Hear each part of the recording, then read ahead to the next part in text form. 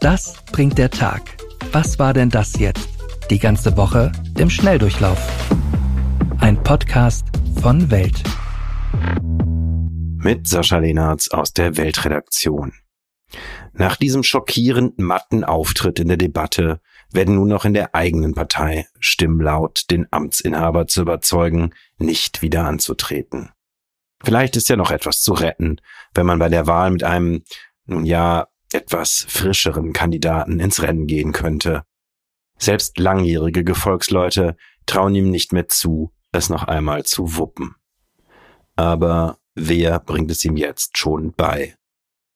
Am ehesten, glauben Leute, die ihn gut kennen, könnte das noch seine Ehefrau. Wenn es eine schaffen kann, ihn zu überzeugen, nicht wieder anzutreten, dann sie, Britta Ernst. Ach so, Sie dachten, wir reden hier über Joe Biden. Der kommt gleich erst dran. Wir sind noch bei Olaf Scholz und dessen Auftritt im Bundestag am Mittwoch. Wenn es eine Steigerungsform von leidenschaftslos gäbe, hier hätten wir sie gebraucht. Olaf Scholz zog aus dem Europawahldebakel den Schluss, es braucht mehr Zuversicht. Und bei Scholz klingt Optimismus so. Und es zeigt eben, wie ich eingangs schon gesagt habe, dass ganz offenbar angesichts all der vielen Krisen vielen die Zuversicht abhanden gekommen ist. Und deshalb ist auch klar, worum es geht, bei dem, was wir heute besprechen, aber auch bei dem, was wir jetzt in diesem Jahr und den nächsten Jahren zu tun haben. Wir müssen dafür sorgen, dass Zuversicht wieder wächst in Deutschland und Europa, in vielen Ländern der Welt. Und wir müssen dort, wo Zuversicht fehlt, sie neu begründen. Wir sind noch nicht ganz sicher, wie dieses Programm umgesetzt werden soll, aber die SPD könnte bundes- oder am besten gleich weltweit gute Laune-Komitees aussenden, die überall da, wo die Stimmung gerade nicht so dolle ist, also etwa auf Ackerflächen in Sachsen oder Thüringen, große Schautafeln mit dem Wort Zuversicht in den Boden rammen. Das könnte die Stimmung mittelfristig heben.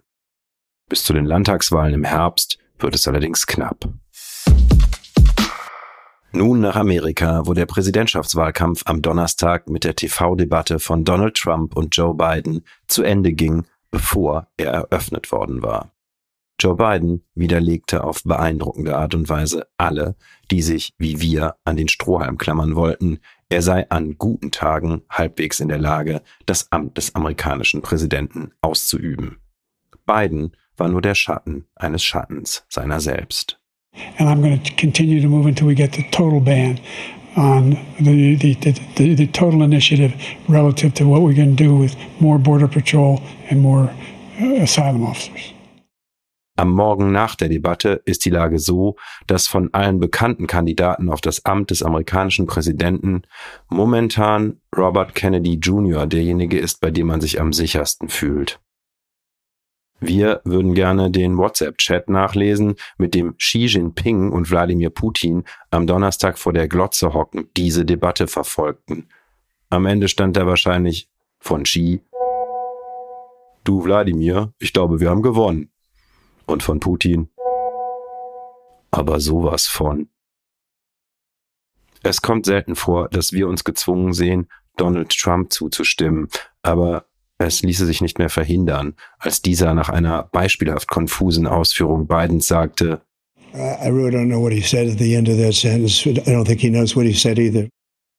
Selbst Weggefährten, die aus dienstlichen Gründen zu Loyalität verpflichtet sind, wie Bidens Vizepräsidentin Kamala Harris, fiel zur tattrigen Performance ihres Chefs nur der Satz ein. Er ist etwas langsam gestartet. Yes, there was a slow start, but it was a strong finish. Sie vergaß allerdings hinzuzufügen, aber danach hat er stark nachgelassen.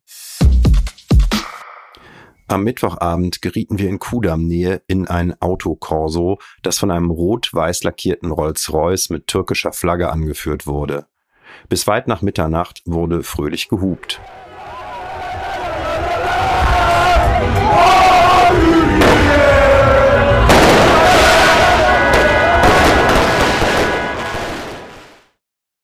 Scheint, den Türken ist nicht ganz klar, dass sie das Turnier noch nicht gewonnen haben, sondern lediglich auf den letzten Drücker zehn Tschechen geschlagen.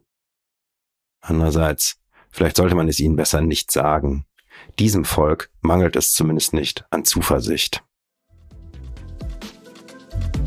In der Welt am Sonntag lesen Sie diese Woche Martina Meisters Analyse des französischen Psychodramas, wie Emmanuel Macron das Land Marine Le Pen ausliefert und Elke Bodderas große Recherche über einen Skandal am Universitätsspital Zürich.